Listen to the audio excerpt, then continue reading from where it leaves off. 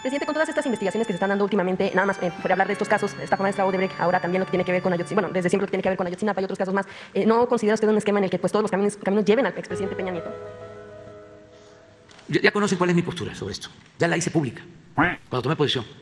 Aunque en los hechos no, se, no, vaya, no se le está tratando de eh, pues llamar a la justicia en México. ¿Por qué ninguno de los casos?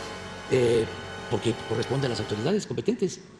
Mi postura fue en el sentido de que no íbamos, no, no íbamos a, presentar denuncias en contra de los expresidentes. Dije que quería yo iniciar una etapa nueva y que teníamos que demostrar nosotros que éramos distintos y no permitir nosotros la corrupción y no quedarnos anclados eh, en el pasado persiguiendo a los expresidentes. Por eso, cuando se presentó el momento, nadie estaba pensando en presentar lo de la consulta. Y dije, lo voy a presentar para que no quede el antecedente de que no se hizo. Vamos a preguntarle al pueblo.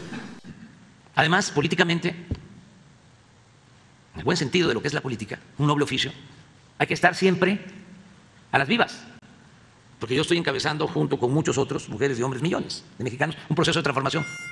Si yo no convoco esa consulta, ahora estarían molestando más con el hecho de que hubo un pacto con Peña. Lo que yo le tengo que agradecer a Peña es que a diferencia de Fox y de Calderón, no se metió a hacer fraude en la elección presidencial. Eso no se me va a olvidar. Además, se lo reconocí cuando tomé posesión. Pero esa es una cosa. Otra, muy distinta, es la complicidad. Completamente distinta.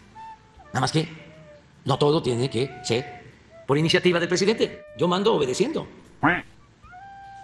Y lo de Ayotzinapa y de lo del señor Murillo Cara, lamento mucho. Pero esas injusticias no pueden quedar impunes.